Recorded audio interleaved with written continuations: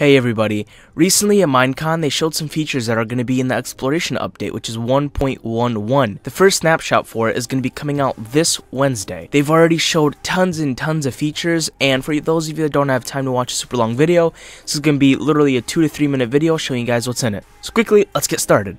Alright, first up is the Woodland Mansion. This is going to be a new generated structure on every world that is going to be very rare. It really just is a giant structure in the middle of the woods, but it looks really cool. Next up is a new item. It is the Shulker Shell. You will get these when killing a Shulker, which it seems kind of obvious, but with these, you can make a brand new item named the Shulker Box. These are just really chests, but there's something really cool about them because they kind of serve as backpacks and have a very cool animation. So you'll see it in, in a second, but what happens is you can place the chest down, put something in it, and when you break it, the items stay in it, and you can place it down again. These can be transferred through dispensers and droppers, which is also very cool. So guys, this the pop possibilities of this are going to be insane, and personally, I'm very very excited. In the footage, you'll be able to see it right here.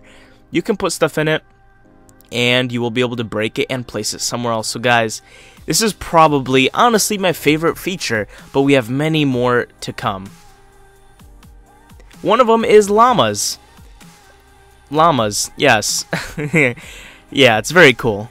Next up is the Totem of Undying. This is something you hold, and when you die, you don't anymore.